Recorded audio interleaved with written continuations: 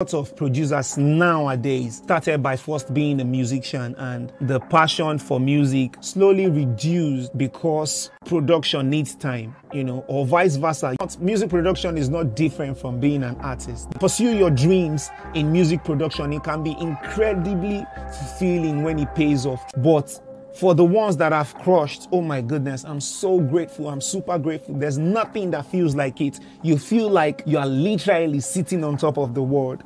So stay focused. Go through the hard times, go through the tough times, you know, and celebrate the small victories. Like I said in the last video, celebrate those small victories that you know, celebrate those things, those small, small things that you do that gets you going. Remember, passion and dedication will shine through your music, and that's what will ultimately with your audience.